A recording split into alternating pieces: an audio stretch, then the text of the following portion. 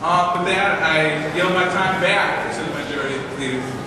Majority Leader, you have the floor. Thank you. Thank you for yielding the floor to me. I appreciate that. Um, I would just like to say um, that um, there, you've caught me. My goal with, with this bill was to raise taxes. Because inserting a 10 cent piece of paper into every envelope for four months a year is in fact going to raise taxes. Caught me guilty as charged.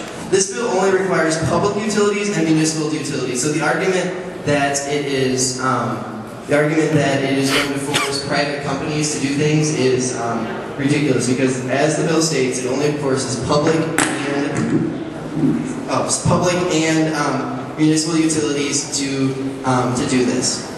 Senator, the minority party's time has expired. Now have one minute for statements. Great, thank you, ma'am. Um, with my own time, I'd just like to say that um, I really um, think that this bill is common sense. It's common sense to educate people um, about the need for energy conservation, especially during the winter months when they are spending more energy than ever before. I in fact, this bill may not even go far enough. Maybe it should do it during the, during the summer months when we're using air conditioning and how we need to, to regulate air conditioning. But the first thing we need to do is allow, is allow people...